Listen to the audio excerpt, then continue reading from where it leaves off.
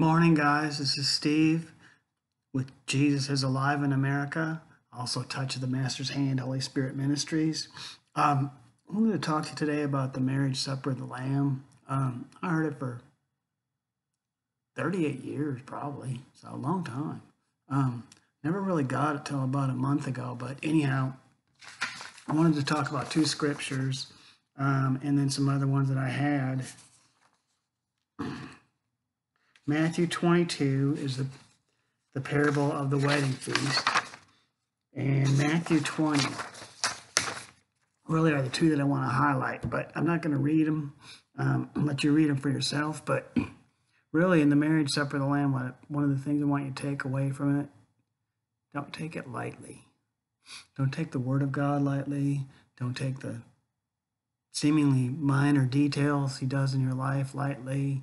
Um, tells you to go to the left instead of the right when you're driving. Uh, go to McDonald's when you don't really like it instead of Arby's or whatever. Um,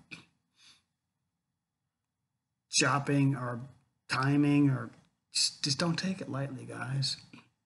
And don't take his word lightly. Don't take your prayers lightly. Don't take the things of the Spirit lightly. And that Matthew piece, pretty much, it's about the laborers in the field and the harvest the same, guys. Whether you're the doorkeeper or senior pastor that's saved 150 years. Take, look at the thief on the cross. You know, what church was he going to? What was his address? What ministry was he under? But he made it in. So, anyhow, I don't take things lightly, but um, and then there's some scriptures that uh, I wanted to read. I do want to read one out of Revelation though, because I got this this morning. Um, the Lord been waking me up real, real early. Um, I don't want to get some sleep, but so it's been kind of broken up, but that's okay. I, you know, it's just a season of prayer. So three, four in the morning, two sometimes even. But anyhow, this was this morning. It was in Revelations out of 19, actually. Had me read the whole of 19, but 19 and 8. Actually, let's go to 6. And I heard, as it were, the voice of a great multitude, as the sound of many waters, and as the sound of a mighty thundering, saying, Alleluia! For the Lord God omnipotent reigns. Let us be glad and rejoice. Give him glory, for the marriage of the Lamb has come, and his wife has made herself ready. And to her it was granted to be arrayed in fine linen, clean and bright, for the fine linen is the righteous acts of the saints. The marriage supper of the Lamb. Let us glorify in that so anyhow, there's one other thing I want to share with you. Um,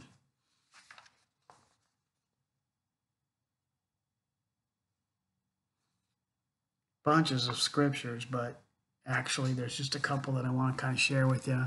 Um, I got a friend of ours that's a young man that's kind of starting to hit a hit a gold mine here with on 27 so um, I started looking up. So I started looking up book of 27. Then one morning the Lord woke me up. He said, go to Matthew 27, uh, Jeremiah 27, Isaiah 27. Then he said, go to Genesis 2 and 7, and then go to Revelations um, 2 and 7. So I'm going to read read both of those actually um, real quick and then just kind of end with that.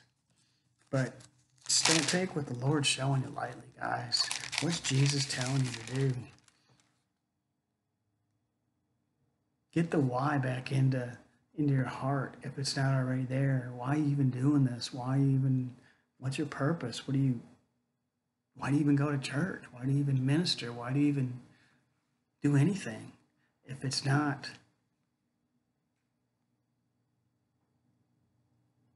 for your heart being right and in love with Jesus, God, the Holy Spirit, and His Word. That needs to be. So don't take things lightly, guys. Two and seven. Kind of a standalone scripture, actually. He who has an ear to hear, let him hear what the Spirit says to the churches. To him who overcomes, I will give to eat from the tree of life, which is in the midst of the paradise of God. Let's jump over. It. That's pretty self-explanatory. I'm going to kind of let you guys just kind of chew on that and digest it yourselves. Uh, two and seven in Genesis. And the Lord God formed a man of the dust of the ground and breathed into his nostrils the breath of life, and the man became a living being. Kind of like the beginning and the end, guys, you know? So, um, but pick a book, 20, look up 27, the, the verses 27 or 2 and 7. Um, just kind of you know, that's kind of a journey I'm going to go on. I'm doing, going to do a little bit of studying. I've just been downloaded a lot of scriptures. The Lord's been downloading a lot of scriptures to me. So it's like, thank God for a computer because I've been putting them all in there. Um, seemingly a little bit scattered, but not really because I'm not taking it lightly. They're there. And I'm starting to formulate and put things together.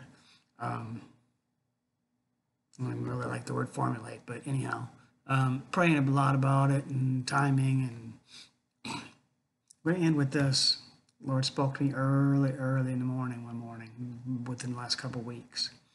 He said, Time is holy. I was like, so I thought, oh, that's pretty cool, God. So I get to my computer, which I've been doing a lot because some memory issues. Um, and so it's like, you know, now it's in the computer. So starting to type in, my time is holy. He said, no. He said, time is holy. That's why I said, don't take it lightly, guys. What you're doing with your time, what the Lord's, the vessel He's created you to be, places, things, people, whether it's your relatives, your wife, your children, your neighbors, your coworkers, It's all unto something. Because it's his time. Time is holy. So, anyhow, I love you guys. Uh, talk to you soon. Um, look at some of the vi- prior videos to this. Um, a lot of them were done at the downtown Dallas homeless shelter, one of the sh- shelters that my wife and I minister at. Um, we're looking to expand some more too and do some more things soon it just same thing. I'm kind of waiting on the timing and still praying and processing and thinking and just kind of putting it out there. I just want to make sure I'm on the exact direction and path that the Lord wants me to be on, and not just something because I want to do it, make me give me warm fuzzy feelings and you know, accolades or attaboys or egos or any of that other kind of stuff. I just don't want it. I want to do it with pure heart, pure, clean hands, righteous and holy. His will, not mine. So, anyhow, love you guys. Um, just look at some of those videos. Some of them are pretty cool. We're getting a little bit better at it. I'm about to get a tablet. And so, we love you guys. Talk to y'all soon.